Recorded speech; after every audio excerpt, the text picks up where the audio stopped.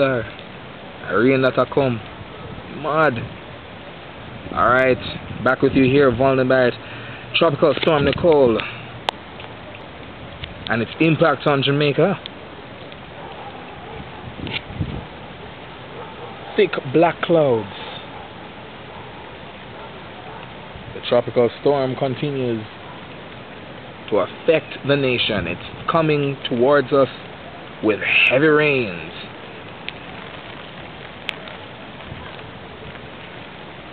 If you look over the hills, you can see the rains coming toward us. Indeed.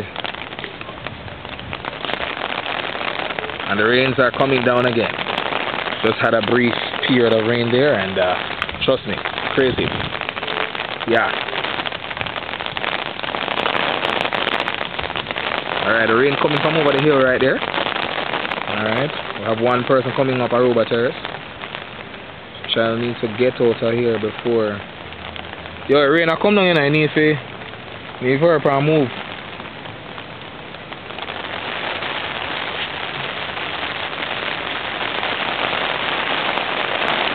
And ladies and gentlemen, the rain is down again.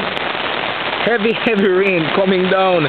Tropical storm Nicole continuing to, to affect the weather in Jamaica.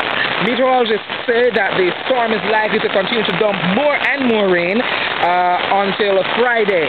So, of course, fishers, other marine interests, persons living in low-lying and flood-prone areas are urged to be on the lookout. Jamaica continues to be under a flash flood warning.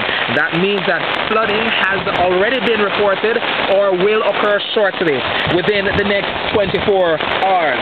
So we urge persons to be extremely cautious at this time. Volney Barrett, of course.